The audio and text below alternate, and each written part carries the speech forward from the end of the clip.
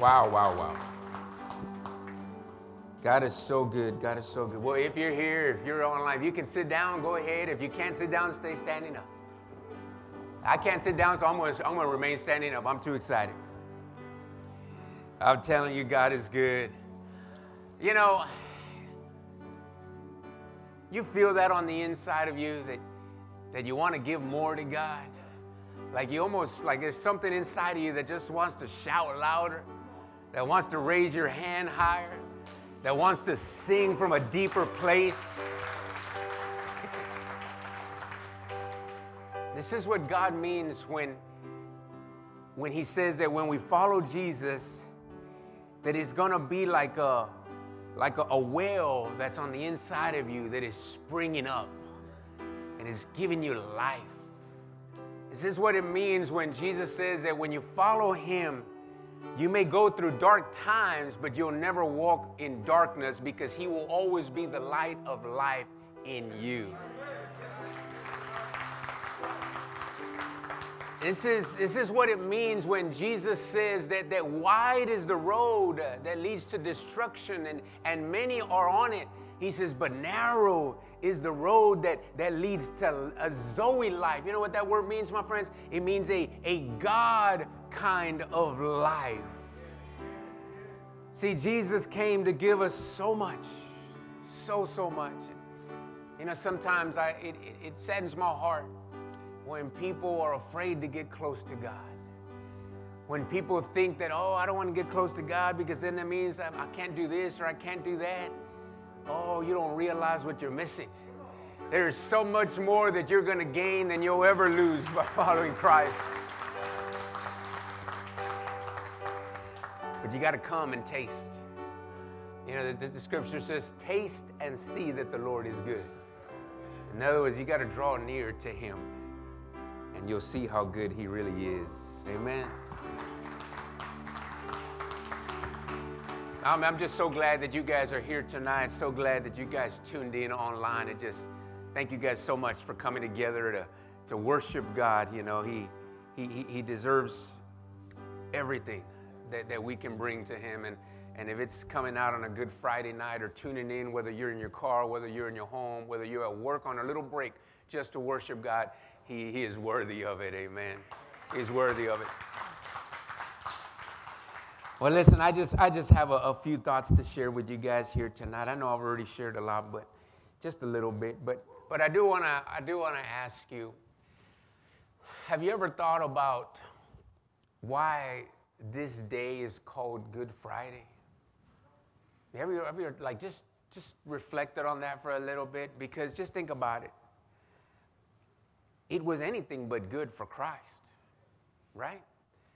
I mean, think about it. He was insulted, he was mocked, he was beaten so severely he was almost unrecognizable.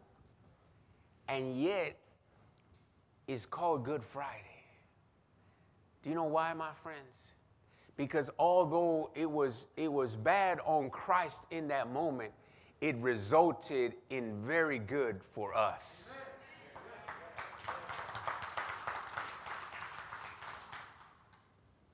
I want to read this passage to you in Matthew chapter 27 as, as it describes this moment because this is, this is the night, this is the day that, that we celebrate that Christ willingly went to that cross. He, he didn't go, he wasn't forced there, you know. People, man didn't put him there.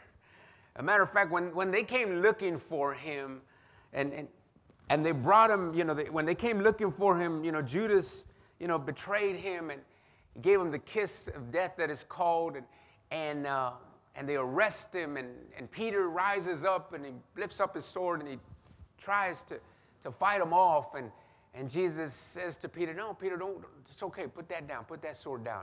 This has to be done, this has to be accomplished.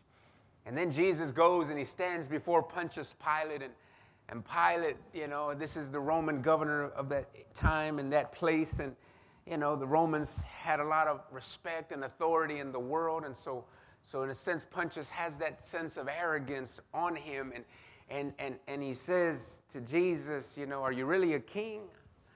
And then he says, Don't you know that if you'll talk to me, I have the power to set you free?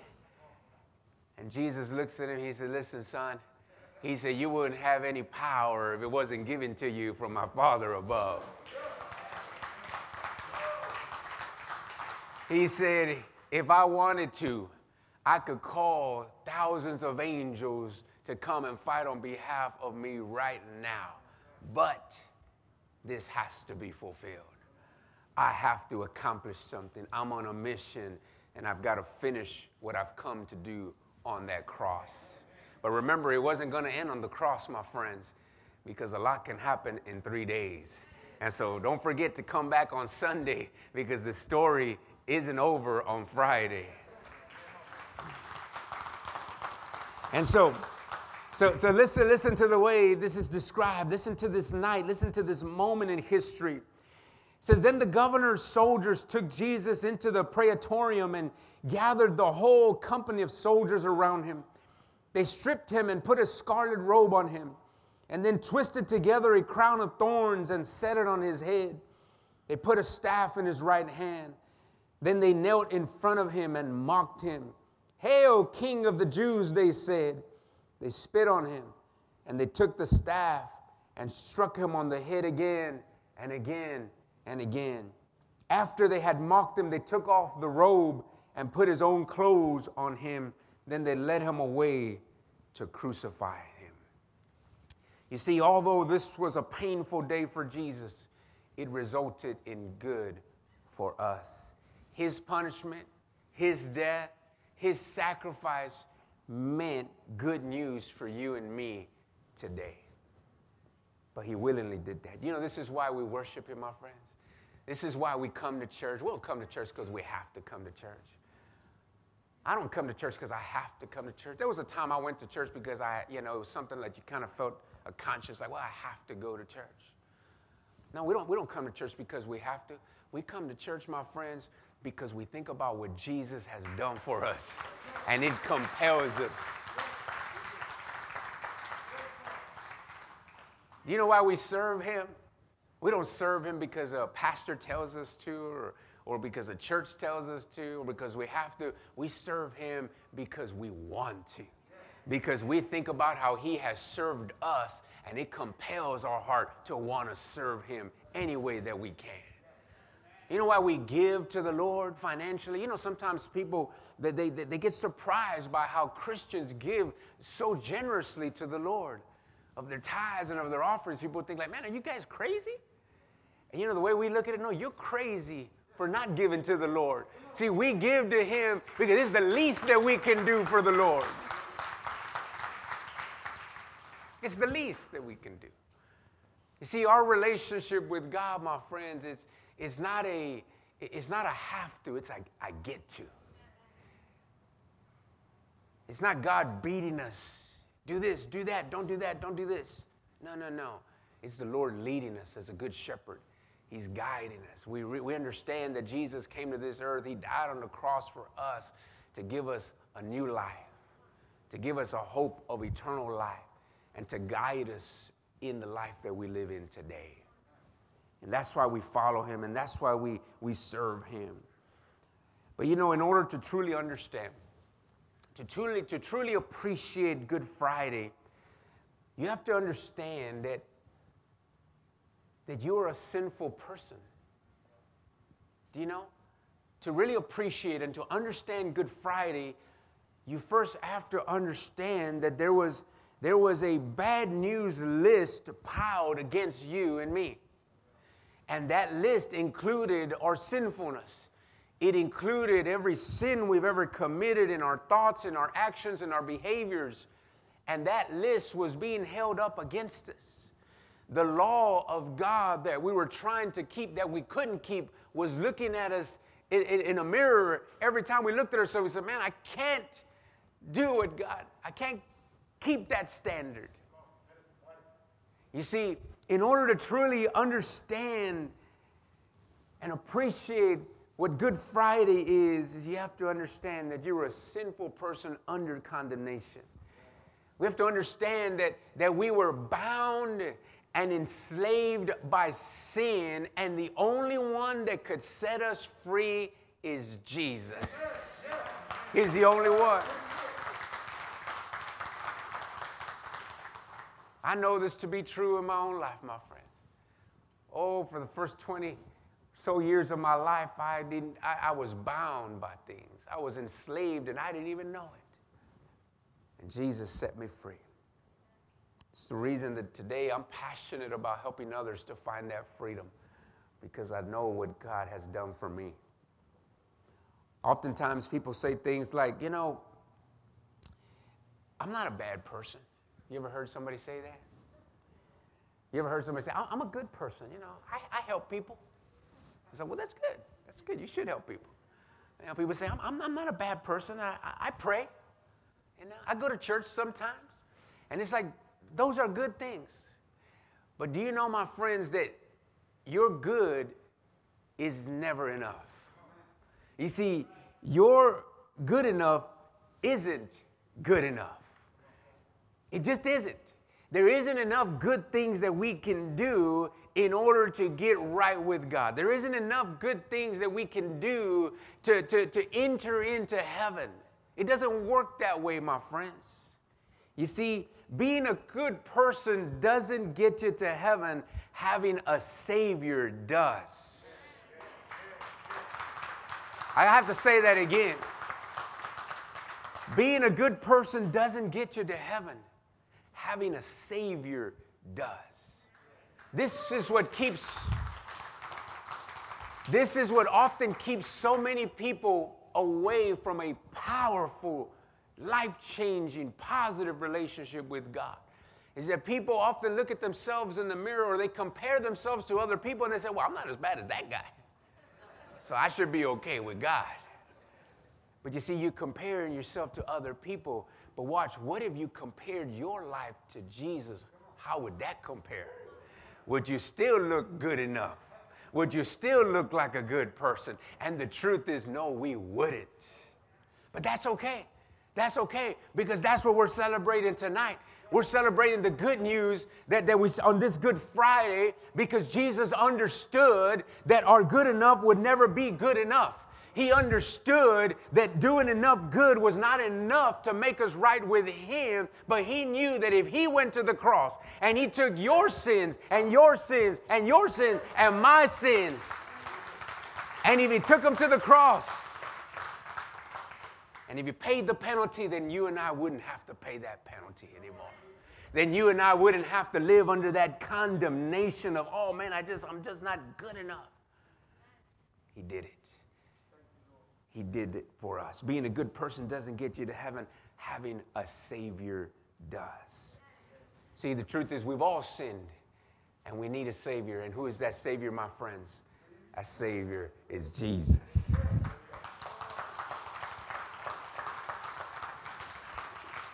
Romans 6:23 says it like this. It says, For the wages of sin is death, but the gift the gift of God is eternal life in Christ Jesus our Lord. Eternal life. Look at the comparison. Look at the contrast there. Death leads to destruction and death. I mean, sin does. But what does Jesus come and offer us? A gift of life. The day that, that Christ was crucified, there was two other men two other criminals that were crucified with him. The scripture describes how one of those men looked over to Jesus and he insulted him. He, he mocked him. He said, I, I thought you were a savior. I thought you could do all things. Why don't you save yourself and get yourself off this cross and us too? And the man on the other side looked at that man and he says, Stop that nonsense. You and I are being executed today because we have done wrong. But this man is on this cross today and he has done nothing wrong. And then he looks over to Jesus and he says, Lord, he says, remember me when you enter into your kingdom. And Jesus looks at this man who believed. He says, I tell you the truth, today you will be with me in paradise.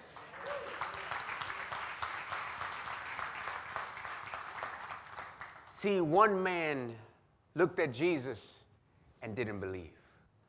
Another man looked at Christ, he believed, and he was saved. I believe that those two men, my friends, represent us today in the 21st century. They represent us. We go through life sometimes and we're kind of like that other man, the one who kind of looks at Jesus and doesn't really believe that he is who he said he is. And then the other man who does believe and he is saved. The question that we must all answer is which one are you?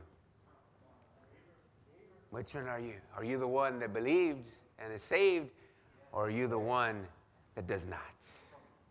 The good news is, my friends, that Christ has already done the work. Remember, he said, It is finished. It is finished. We can be like the one that believes and is saved. He's already made the way. He, Jesus, Jesus went to the cross and he died, and he says, Here is the gift. If you're willing to receive it by faith, you can have it. I've paid the price. I've done the work. You don't have to do it. This is what is called the gospel. This is what not only saves man, but this is what changes us. I believe that right now, somebody in here and somebody watching online, online, you are hearing this message, and Jesus is changing your life right now in this moment. You will never, ever be the same again. This is what the message of Christ does. What Jesus did for us by coming to this earth and shedding his blood and dying on the cross was to touch our heart, to touch our soul, to change us from within. It doesn't mean we become perfect individuals. No, no, no, no. We all know that, right? If you're married today, you, your spouse can look at you and say, Oh, no, no, he ain't perfect. Far from it. If you're the husband, don't look at her and say the same thing, but just say, You're close to perfect, babe. You're close.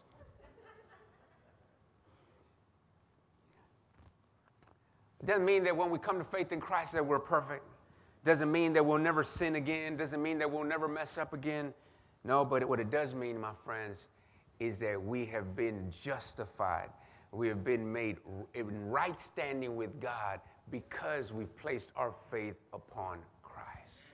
We are forgiven yesterday's sins, today's, and tomorrow's.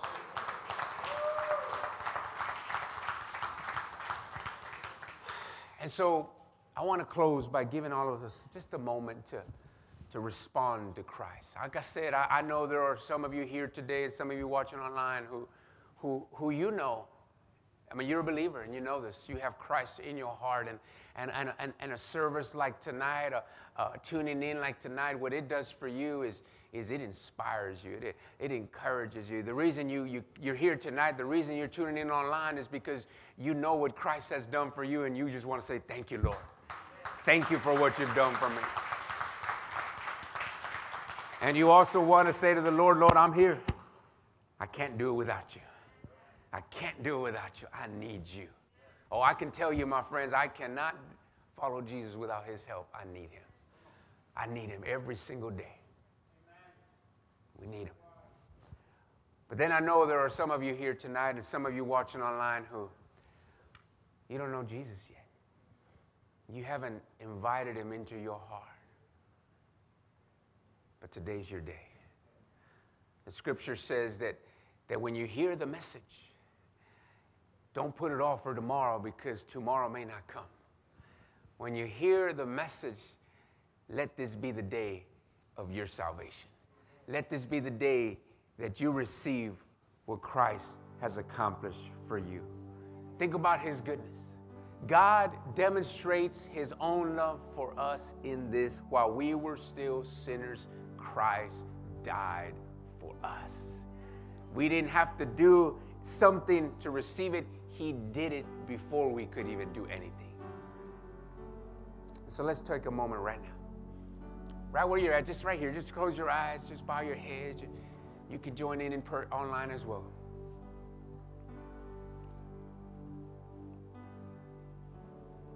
If you're here today and your, your prayer today is, Lord, I'm with you, you're with me, help me to stay with you. Continue to help me to be the man and the woman you've created me to be. Let's pray that together. And if you're here tonight or you're watching online and, and you say, I want to know Jesus, you can open up your heart to Him right now. Let's all pray this prayer of faith together. Just say this with me. Say, Lord God, tonight, on this Good Friday, I invite Jesus into my heart. I receive him as my Savior and Lord. Jesus, today I commit my life to you. Now help me to follow you all the days of my life. In Jesus' name, amen and amen. Amen, amen, amen. Listen, friends, two things. Maybe tonight you've just made a, a, a, a you've renewed your commitment to Christ. You just said, man, Lord, I, I'm, I'm going to take this relationship to another level. Congratulations. Great decision. Maybe today you've made a first time decision for Christ, first time that you've invited Jesus into your life. The Bible says this is a new day. This is a new beginning. Old things are gone, new things are coming. I want to invite, I want to, I want to, I want to encourage you to, to, you know, send a text to that number on the screen. I want to send you a free gift to help you in your new commitment to God.